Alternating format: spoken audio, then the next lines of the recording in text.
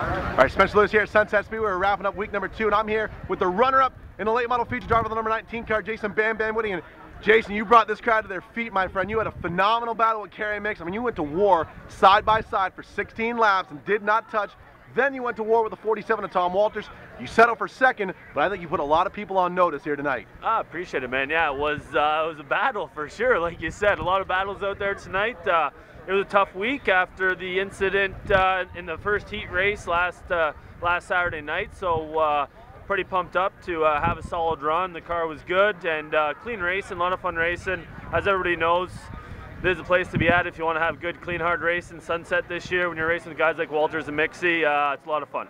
Now, opening night, for those that uh, are watching this interview but weren't here with us, Gary Elliott was forced into the outside wall, came down the racetrack. You had nowhere to go. Hard front end damage to the 19 car after making contact with the 36. What, uh, when you finally got it home and took it all apart, what was the diagnosis on it? Yeah, it, uh, it was definitely a hard hit and did a lot of damage. I uh, ended up uh, twisting up the front clip, so it was unfortunate.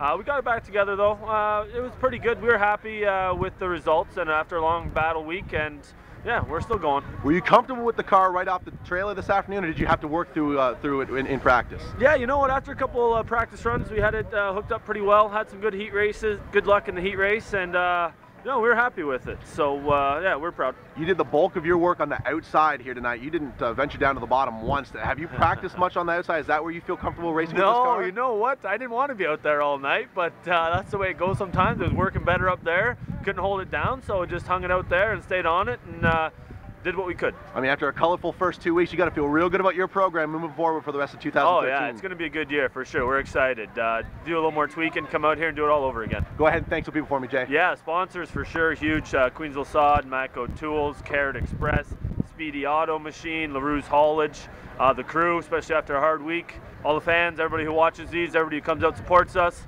It's been, uh, you know, 14 years in the making that we've been here, and without you guys, you know, we need you. We love it. So, uh, yeah, appreciate it all. There you go, folks. He hasn't been to Victory Lane in two seasons, but I can tell if you were here tonight, you'll agree with me. It's coming. It's coming. You're going to get one tonight. That's Let's 19 late model here at Sunset, ladies and gentlemen. Jason Bam Bam Witty. Jay, thanks for the time, dude.